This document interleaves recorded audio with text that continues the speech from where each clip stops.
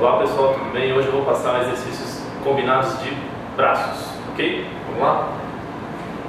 Primeiramente, flexão de braços, posicione suas mãos alinhadas ao seu ombro, um pouquinho afastado deles, tá?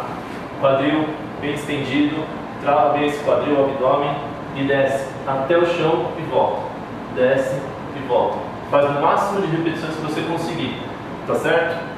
Tá difícil um pouquinho? Apoie o joelho como opção, fica um pouco mais fácil e mantenha o quadril paradinho, ok? Faça o máximo de repetição que você conseguir. Terminou? Logo em seguida vamos para a remada elástico. Você pega o elástico, afasta um pouquinho para trás, para ter um pouco de tensão no elástico, não deixa totalmente solto. Um pouco de tensão no elástico e puxa, abrindo o cotovelo na linha do seu ombro, ok? O máximo que você conseguir. Está muito fácil, vem para trás. Vamos dar um pouquinho mais de tensão no elástico.